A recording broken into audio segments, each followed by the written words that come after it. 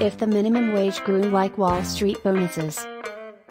According to a new analysis, if the federal minimum wage increased at the same rate as Wall Street bonuses throughout the years, it would be significantly higher.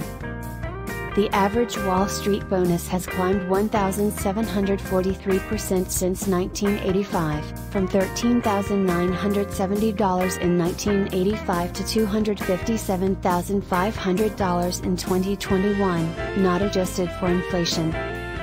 According to the research, if the minimum wage had climbed at that rate, the hourly minimum wage now would be $61.75 instead of $7.25.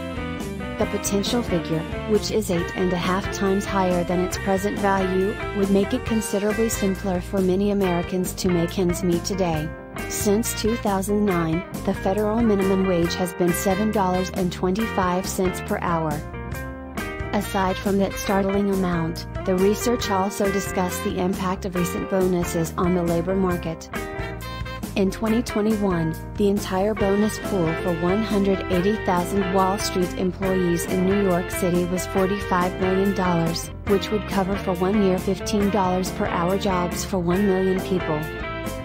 Additionally, according to the study, 2021 was a good year for Wall Street bonuses despite the pandemic.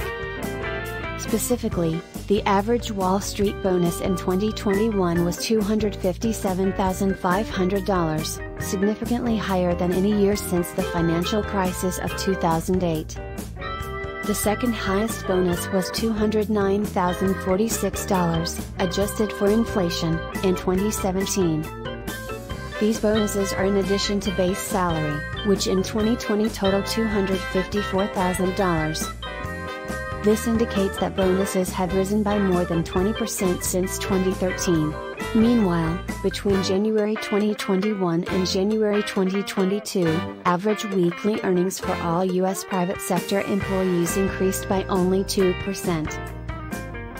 Please like and subscribe if you enjoyed this video, it helps others find our content. And please visit techonovids.com for a list of references and resources.